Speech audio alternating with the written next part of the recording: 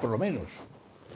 Claro, además, eh, no, no, se usted van almacenando. pinta y pinta, y además, bueno, por lo que habíamos hablado en la anterior entrevista, eh, cuando se cansa de una para, empieza otra, ¿no? Sí, por ejemplo, empiezo una temporada, estoy haciendo pues, eh, dibujos exclusivamente, después paso a hacer acuarelas, también exclusivamente, y luego termino haciendo óleos, y- en fin, eh, y, cambio. Eh, siempre tengo que tener alrededor, cuando pinto en el estudio, con óleos sobre todo, siempre tengo que tener 10 o 12 cosas empezadas. A mí me vienen las ideas como la- las cerezas, tiras de una y, salen- y van saliendo todas. ¿no? Bueno, pues a mí me pasa exactamente igual.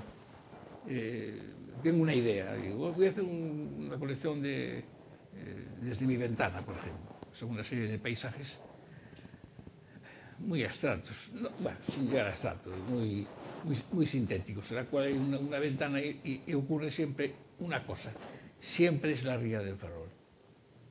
Puede ser eh, esos depósitos de gas que están allá al fondo, puede ser unas cosas de la Marina o cosas de la Malata, siempre son los temas, siempre es la ría del Ferrol. Unas casas de Ferrol en primer término, con un minarete, en pero siempre es a través de una ventana. Es una colección grande el año pasado vendí para los coleccionistas de la colonia 16, de la, de la colección que tenía 16, que lo estoy reponiendo, pero siempre con cosas nuevas. Pero siempre es una ventana con la ría al fondo. Pero ya digo, puede ser muchas cosas de, de la ría, de las tantas que tenemos. O sea, que concentrarse en una tarea sola no Sí, o una usted. ventana y unas sardinas en, un- Vamos variando, en un que- plato, pero al fondo siempre la, la ría. Siempre, eh, la ría en mí siempre estuvo muy, muy presente. Aquí en Madrid, en París, en todas partes. ¿Y por qué? Pues no sé, porque soy de Ferrol, sencillamente. Los ferrolanos somos unos tipos muy raros. Sí, aunque los maltrate, eh, no la gente, que esa es otra cosa, pero en fin, los que mandan, eh, siempre volvemos eh, y queremos a nuestra ciudad.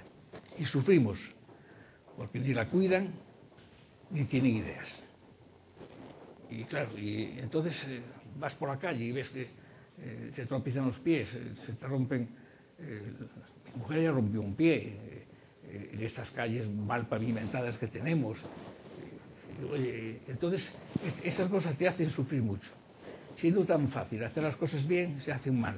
Y además costosísimas. Mira lo que pasa, lo que- lo que pasa en la Plaza de España, por ejemplo. La verdad, son ejemplos. Sin más comentarios.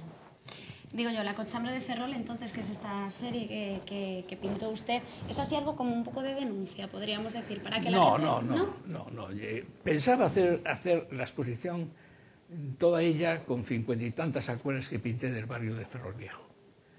Como yo doy clases en la calle San Francisco, pues en el buen tiempo pues, salíamos a pintar y a la Plaza Vieja y tal. Entonces yo tengo acuarelas desde eh, de, de casas que tenían el tejado y ya no, no la tienen. O tenían guardias y han desaparecido.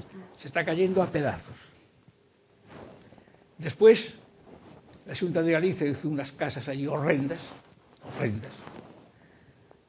E incluso las escaleras de una calle lateral eh, eh, las cubrieron con ese hierro oxidante, que no, que no sé de quién, qué arquitecto, y, para que la gente se oxide y se manche la ropa y para todo. Bueno, pues también tiene eso. Las casas son horrendas son de- están hechas de tal forma que una persona que muera en el primer piso no se puede bajar en la caja. Porque las escaleras son, Son tan estrechas. estrechas. Es, es- es lamentable. Bueno, y la arquitectura es una arqui- arqui- arquitectura irracional totalmente, no tiene nada que ver con la vieja arquitectura de, de- de- de nuestro ferrol viejo. Bueno, y, y que te voy, y que te voy a contar, las calles, las casas están cayendo, están apuntaladas, mucho cuento. Yo llevo yo viviendo eh, desde que viví en Madrid aquí como 12 años. Siempre he oído decir a, a todos los alcaldes que van a arreglar el barrio, el barrio de Ferrol Viejo. No se arregla absolutamente nada. Herrera se está hundiendo. Cualquier día se cae el- el- la, eh, la muralla porque tiene uno- unas rajas ya tremebundas. Eh, eh, Yo no sé, es que la gente no ve, no tiene los ojos eh, donde te- los tenemos los demás, porque yo esas cosas las veo, pero los demás no las ven. Sí las ven, pero están acostumbrados a verlas.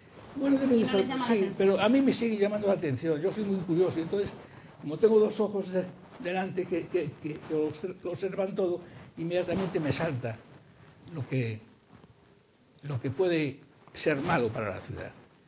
Y, esa, y, ese, y ese espacio, ese mirador tan maravilloso, aún el otro día leía en la prensa los ecologistas que decían que no se había de polar los árboles que, los árboles que hay al pie de la, de, de la muralla, porque si no se poda no se puede ver la belleza de la ría con, las grúas, con los arsenales, todo eso, que tiene una belleza extraordinaria. Ya Gonzalo Torrente Ballester hablaba de la belleza desde ese minarete. Bueno, pues dicen, no, no, que no se puede, porque los árboles hay que podarlos siempre. Y si molestan, para poder ver el paisaje, pues se podan, que no pasa, al árbol no, nunca le pasa nada. Siempre crece con muchísimo más fuerza. Pero hay los listos, los que piensan que el podar un árbol que es, es un martirio para el árbol. Y no lo es. Y no lo es, claro. ¿Usted ha ido a ese mirador a pintar alguna vez, Herrera? Sí, claro, sí. he pintado, he pintado lo que no ha pintado nadie. Por ejemplo, pues pintar desde allí por pues, todo lo que se ve, los almacenes, con los barcos, con las grúas, con todo eso. Eso lo he pintado muchísimas veces. Incluso hay un almanaque que se publicó la, el año pasado, y lo hizo la COPE, en la cual hay una acuarela que es eso.